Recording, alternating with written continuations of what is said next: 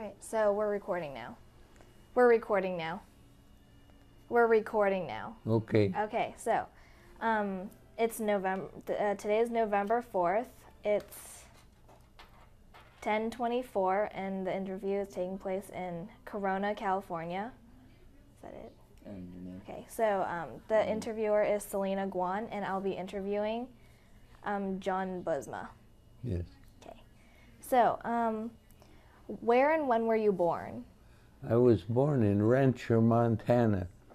Uh, when at that time the area, uh, Montana, north of the Yellowstone River, about 70 miles east of Billings, there were a lot of people lived there, and this uh, one of the farmhouses was a post office, and they gave it the name Rancher, Montana. And that's what my birth certificate said, because that was an official U.S. post office. Later, as people left the, the area, the post office faded away and it was no longer in, in active use. So that's what my birth certificate says, Rancher, Montana. You won't find it anywhere on the map because there's nothing there but bare land. It's very cool. Okay, so who were your parents, and um, what what did your parents do for a living? What did your parents do for a living? I don't understand you, ma'am. Oh, um, who were your parents, and um, where? What did your parents do for an occupation?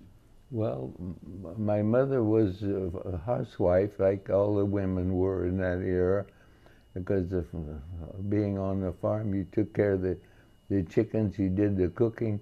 There were three full meals every day, a big breakfast, a big uh, dinner, and then a, a noontime, and then supper. Because people worked, there was hard work on the farm. So my mother was uh, the housewife, and my dad was, he farmed initially, and later on, he quit the farming and he went to work as foreman for construction company. Because the the drought came along and there was, nothing would grow. The grass would grow maybe t- two inches high. so it was like when they had the Dust Bowl through Oklahoma, they had the drought in Montana and a lot of the western states. Mm-hmm. Okay, so did you have any siblings? Yes, I had two brothers and three sisters. Wow. And at present, I'm the only surviving male, and I have one sister in Billings, Montana, and she's in a care facility, not in good condition. Sorry hear that. Um, did any of them serve in the military? Did any of them serve in the military?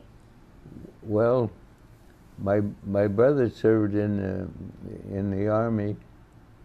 In after World War II, he was in the occupation forces in in Europe, and my parents both came from Germany, so he saw a lot of our relatives in Germany. I never did meet any of them because I was in the Pacific all the time. Okay. Um, so what were you doing before you entered the service? I, wor- I would work on farms for two dollars a day, room and board, irrigating sugar beets, stacking hay, things like that. That was the standard pay rate, and a lot of the men di- didn't like it. Here I was, 15, 16 years old, getting two dollars a day like the men do, but I worked for an old Swede. He says, "You do a man's pay you a day a man's work you get a man's pay and he paid me two dollars a day like he did the other men and i could outwork any of them so That's awesome. Okay. So um, we're going to move on to your military service. So um, so you said you serve in the Navy, right? yes The Navy. Um, were you enlisted or were you drafted? Uh, no i enlisted in november 1935 at salt lake city utah went through tra- basic training at san diego and rode the USS Henderson, uh, one of the two Navy transports. This was AP-1 from Ham- from uh, San Diego through the Panama Canal to Hampton Roads, Virginia, where I went to machinist mate school for about six month period. And then I was assigned to the USS Medusa, a big repair ship that was based in San Pedro, California. So in September 1936, I went on board the USS Medusa, AR-1, ended up in the main in the big machine shop. There were 55 men worked in that machine shop, and the Medusa was the first ship built as a repair ship, so it was AR number one. And battleships or cruisers would come alongside for two weeks at a time. We would do repair work on them, and we had a big foundry. They could make all, all sorts of castings. There was a pipe shop, ship fitter shop. They even had a plating shop. They could plate gold, silver, optical shop, because there was uh, range finders in the Navy at that time, a lot of optics. So the watch and clock repair shop, just about everything you had except dry docking a ship.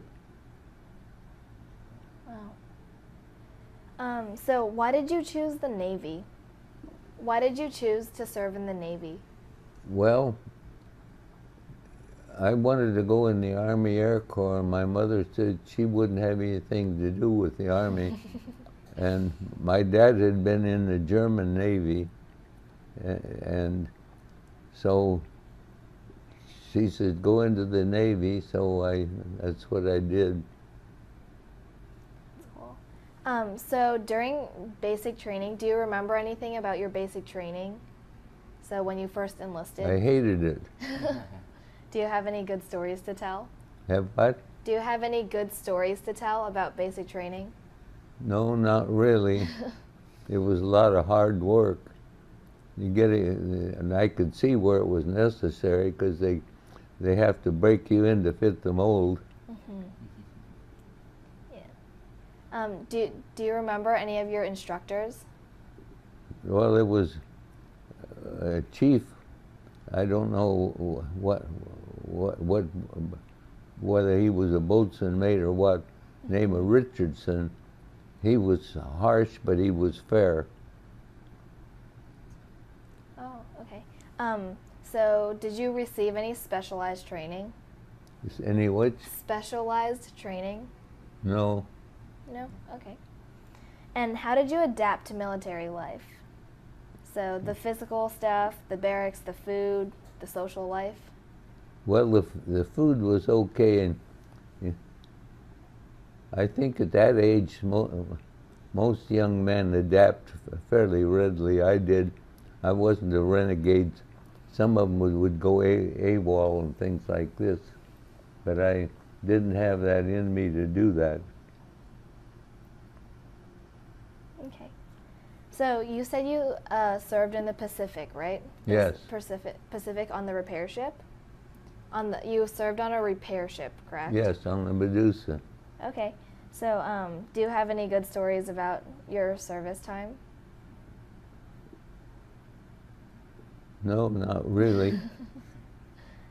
Okay. Um, it, it was it was a, a a good ship, and the chief was a Italian heritage, Pancho Salvador Trillo. He was a harsh taskmaster. all right. Um, what kinds of friendships and relationships did you friendships and relationships? Uh, what kind of friendships and relationships did you develop?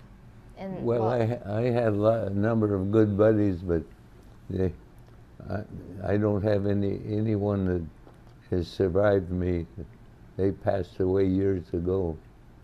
Everyone I ever knew. I'm sorry to hear that. Um, did you stay in touch with your uh, Did you stay in touch with your friends after you left the service? Did you Did you stay in touch with your friends after you left the service? I did with a few of them, and then eventually they passed away. So reached, reached the stage where there was no one to be to contact anymore. Um, so while you were serving, how did you stay in touch with your family? Did you write them letters or? Well, in World War II, they had the emails. or rather, it wasn't called email, it was called something else. I forget what it was called now. Telegraph? You, would write it out and they would send it, and then it was copied on the other end and mailed to them. Telegraph? V, I think it was V-mail. V-mail. V-mailed. V-mail, I think is what it was called. It's pretty cool. I'm not certain of that though. Okay. Um, so where were you? So you served, did you serve until the end of World War II? So when did you uh, leave the service? When did I leave the service? Yes. In September 1946. I was tired and worn out.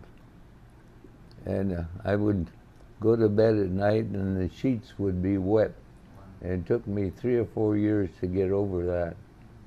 And then my next door neighbor, and we were living in Napa, he was in the Naval Reserve down in Vallejo.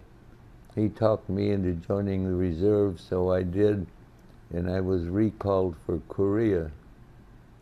And the first ship I went to was the USS Diphda, AKA 59, that I had served on before. I put it in commission.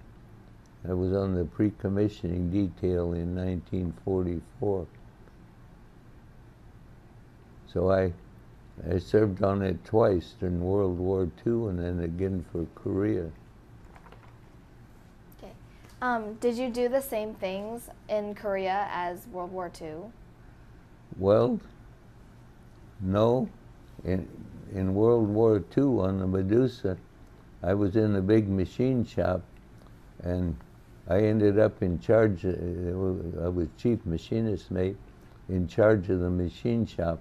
I could run any of the machine tools on the Diphda. I was part of the engineering department and I stood watches in the engine room. I was one of the engineering watch officers. And during Korea, when I was recalled to the Diphda, I ended up, I was chief engineer of the ship and also stood officer of the deck watches underway because they didn't have enough qualified officer of the decks. And one time off Korea, we rearmed ships for 72 hours, day and night. So I was the officer of the deck on the bridge for 72 hours. The only time I was relieved was to go down to the head, to the restroom. The rest of the time they'd bring me up coffee and sandwiches, so I kept the ship on even course and keel during all the operations. And when you rearm another ship, you go, you're, you're about 10 to 15 feet away from that ship, and you have to maintain the course and speed because you're transferring stuff out of five holes. And if you start zigzagging or getting um, not being in sync with that other ship, you could snap cables and kill or injure people. So the first time I stood off to the deck watch when it was over with, the chief warrant boatswain was came in the wardroom and said, Who was the officer of the deck? I said, I was. He said, I thought so. He said, That's the best job of station keeping since I've been on this ship, which was quite a, a you know, good comment. So, but it was easy to do. I knew everything that went on down in that engine room. So it made it, for me, it made it easy. It's very cool. Um. So where were you when the war ended? So when World War II ended, where were you? I was in San Francisco at the time between ships. Um, what did you do after the war? After the war? I worked for the Maritime Commission in Suisun Bay on the re- uh, reserve fleet, the old ships laid up for a while. I started a machine shop from scratch, scratch in Napa, California, and then when I was called back in 1950 for the Navy, I closed everything down. And that, after I was released from duty in January of 54, I went to work for General Electric for about six or eight months, and then I went to work for Stanford Research Institute in Menlo Park. I w- stayed there 26 years and retired from there. Wow. Um, so when you returned home, how were you received by your family and your friends? No one seemed to pay any attention to you. How, how's that? They didn't. It was just like you, you, you, you had never been gone. So was it difficult to readjust to civilian life? Not, not for me. Being in the military, you, you, you move around from this place to that, so you, you have to adjust and adapt. So I was, I could adapt very easily. Some people couldn't, but I could. That's good. Um, see. Are you a member? Are you a member of any veterans organizations? The only one I belong to uh, is Pearl Harbor Survivors, and they don't have any branches anymore. It's practically faded away. Okay. Um, so, how did your wartime experiences affect your life? So, how did your wartime experiences um, affect your life? Well, I, uh, personally, I don't think it had that much of an effect on it. That's my opinion. Um, did so? Did you learn any big lessons from it? Did you learn any big lessons from your time in the service? Well, uh, I learned a lot about engineering departments on board ship and standing off the deck watch is underway, so I knew what I was capable of. You, you get so after a while you you fall in the groove. You get you got a good understanding of what goes on. You know what the boilers will do, what the main engine will do, and.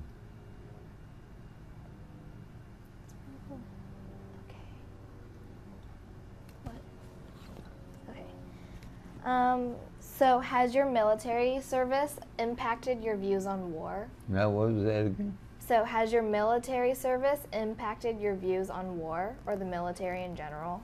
I still don't understand it, uh, man. Okay. So, so, this one. How has the military service impacted your feelings on war in the military?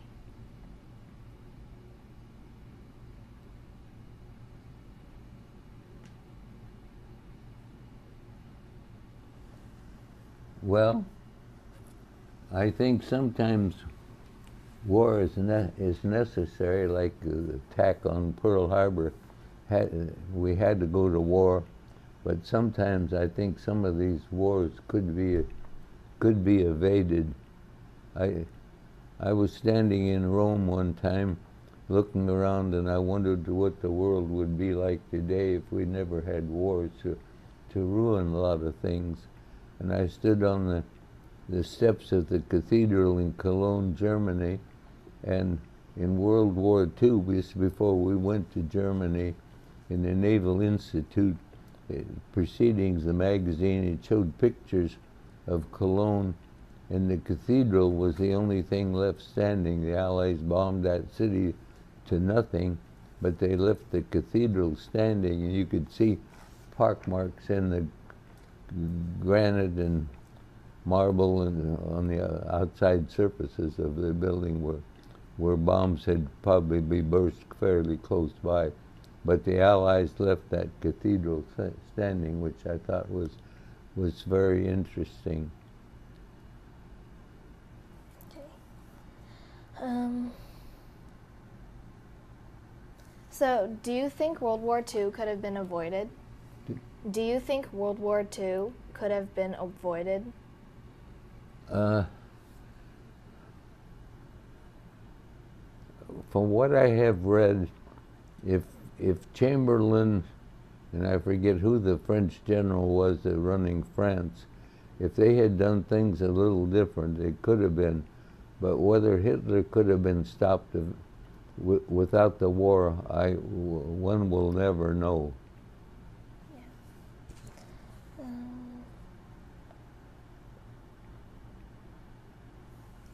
So, for the future generations that will be seeing this interview, do you have any messages that you want to pass on? Well, like I would tell the kids when I go to the schools and talk to them, stay in school, get all the education you can because you're going to need it. And that's more true today than it's ever been. And with all the artificial intelligence and things being automated out there, there are fewer jobs all the time. You so you have to be very technical savvy to to be aware of what is going on and and keep up with things in today's world. Mm-hmm. Um, let's see. So, is there anything that we haven't talked about that you want to talk about?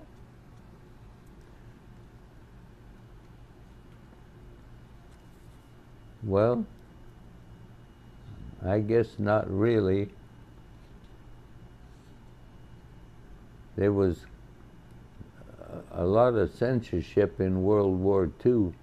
They, they, they censored all our outgoing mail, and the ship I was on, they even censored the ingoing mail, which I thought was a violation of privacy because I had buddies on other ships and the mail was not censored, but that's what the command on that ship did. And so I think that in, in a lot of ways, uh, the, the poor enlisted man, and I have been both enlisted and, and commissioned, had very few rights sometimes. It changed a lot. When I was called back for for the Korean War, the Uniform Code of Military Justice had come in in 1948. When the Air Force came in as a separate unit, they had the UCMJ, and so all services adopted that. So when I got on board ship, I, I had gone through school at Treasure Island for for that UCMJ, so I knew what was in in the stream, and the, exec and the captain were violating more of the crew's civil rights than they could shake a stick at, and so some some of the my men were complaining, so I went to the first class yeoman, who was the head yeoman, and I said, tell the men to put in a request to see the legal officer over, over in the service ship, and they did, and pretty soon the exec and the commanding officer changed their method of doing things. So, a roundabout way, I, I made some changes. Okay.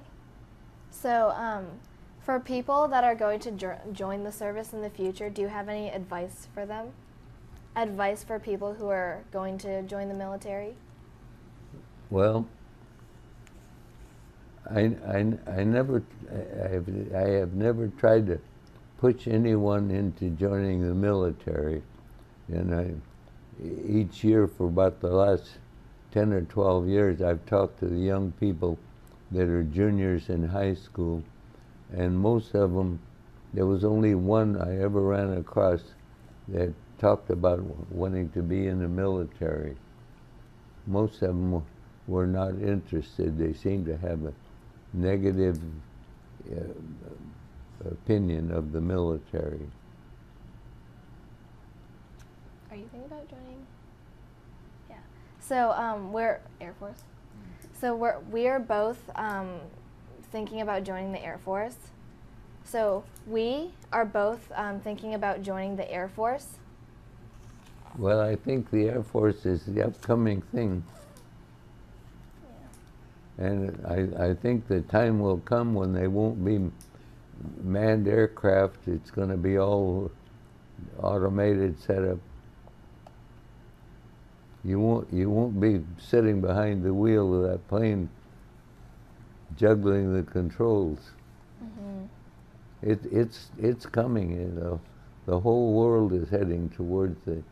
You know, they, they have automobiles now that they can program to drive down the street and come off at a certain intersection and do certain things.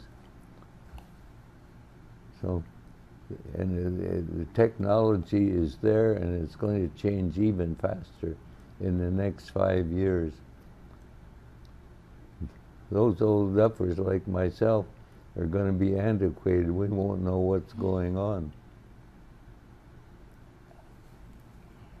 And a lot of the young people today are not interested in a military career. Ask why he thinks that. I ran across, of all the kids he interviewed, one of them, he was very skinny. Did you want something? No, I just wondered when this is gonna end. No. He, he, he wanted to be a Navy SEAL, but I didn't figure he would make it past basic training. Of course, he, he might have. He, he was so skinny, I didn't think he, he could survive that hazardous training that they give him. Mm-hmm. It takes a good person to do that. Yes. Yeah. Okay. Do you have anything to add? Um, can you ask him why he thinks that um, youths might have a negative opinion about the military? Um, why do you think youth have a negative view of the military? Why do I what? Why do the youth, so young people, why do they have a negative view of the military? I don't think they want to be regimented. Okay. It takes a certain type of personality. You, a lot of people can adapt, but some of them can't. You're very mad. Um, let's see. Um, do you think the mil- do you, does he think the military has changed? Like, um, yeah. Yeah, okay. So, do you think the military has changed? And how, how, have, how has the military changed, in your opinion? You say, do, do I think America has oh, changed? The military, oh, the military. yes. Yes, I, I, I, I think that the servicemen have more freedom than they did initially when I went in the Navy. The, the rules and regulations in, in 35 were very harsh, and the Uniform, Co- Uniform Code of Military Justice made it more, more easy for people to adapt. It wasn't as stringent the code as what had been previously, which I think was a good thing. So you think it's better for to for the codes to be more strict? Yes. Okay. Great. Do you have anything else? Just, um, just ask one, one question in conclusion of something. Okay. Um,